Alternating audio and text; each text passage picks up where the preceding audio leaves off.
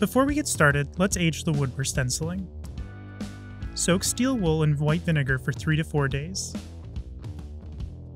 Then carefully remove the steel wool from the rust-colored vinegar. Use a brush to coat the entire board in the liquid. Go ahead and use a generous amount on the board, but try not to completely soak it. You can save the liquid for future projects.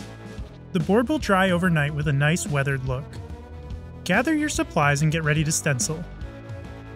Start by evenly coating the back of the stencil with StencilEase repositionable spray adhesive.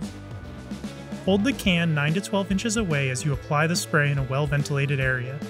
Let the spray dry and become tacky for 30 seconds before pressing to your project's surface.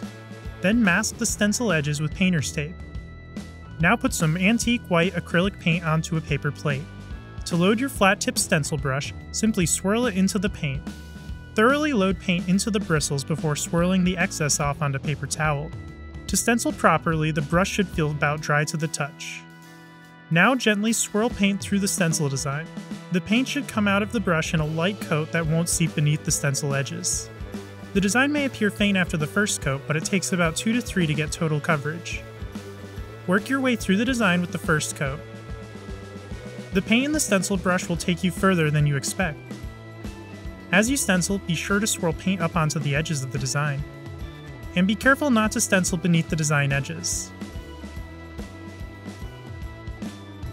When you finish your first coat, peek beneath the stencil.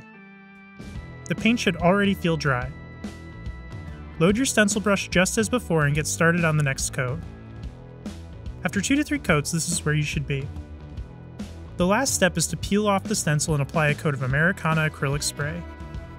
The acrylic spray will protect the surface and give the project a nice shine. For more tips and ideas, visit designerstencils.com today.